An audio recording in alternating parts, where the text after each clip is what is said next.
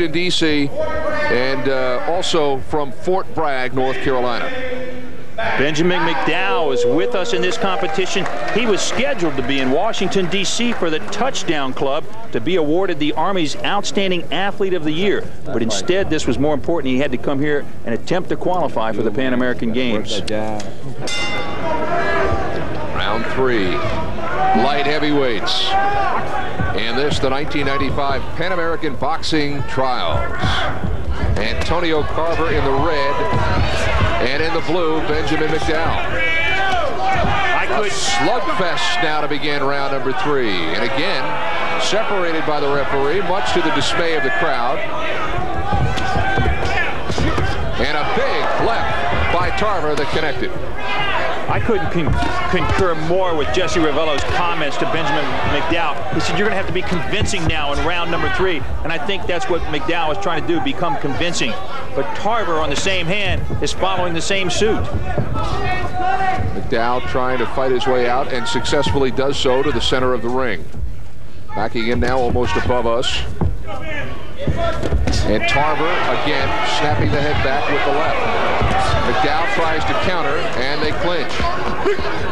Again, tough to tell if that last throw by McDowell would count. Well, and we're not going to know, obviously, until it's all over. There's that left again. McDowell's been having a real challenge with that left hand throughout this entire bout. But in a five-judge computerized scoring system, all you need for that blow to count is for three of those judges to press the button within one second of each other, and it goes into the computer as a scoring blow. Again, back to the center of the ring. This has been a about really Van, when you look at it, uh, neither side has been really shy about throwing the leather.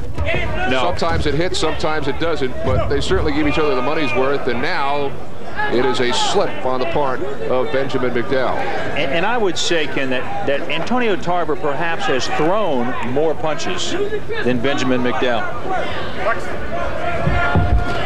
Now up against the far ropes, it's McDowell. And now he fights his way out. He gets thrown on top of the ropes for his trouble.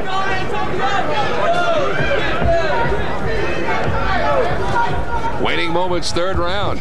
A big left that misses by Tarver and McDowell quick to clinch. Conditioning comes into play, and they're still capable of hurting each other. What I have seen throughout this bout, and we get a one-point warning against Benjamin McDowell for grabbing his opponent, Antonio Tarver, and, and pulling him off balance. So one point taken from his total?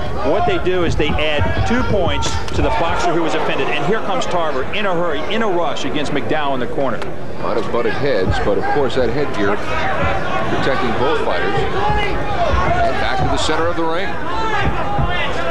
You know, it is real possible that that uh, that that warning could have hurt Benjamin McDowell.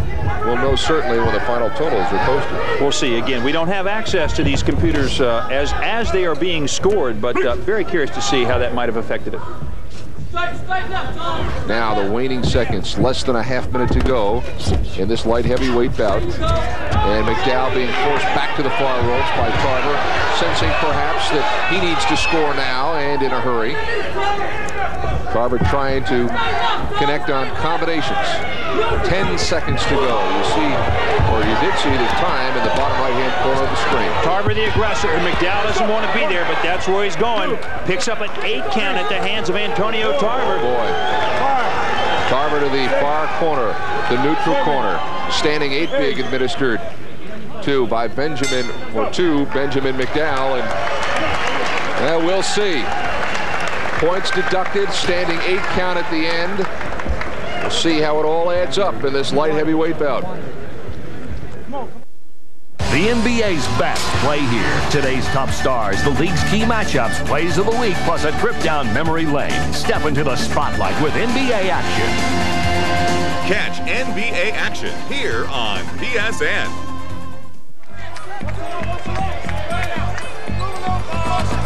Hi, I'm Kevin Eastman, head basketball coach of the Washington State Cougars.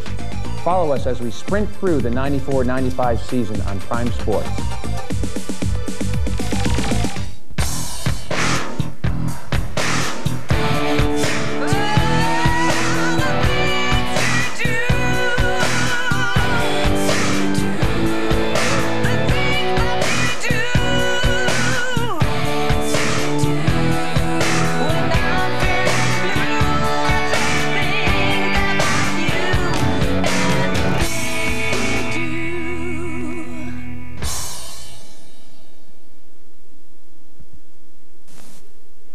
And the winner will represent the United States in the 178-pound weight class at the Pan American Games in Argentina.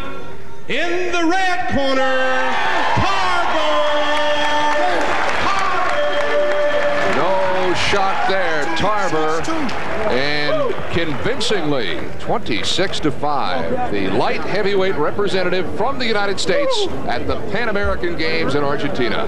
There you go, Coach. The super heavy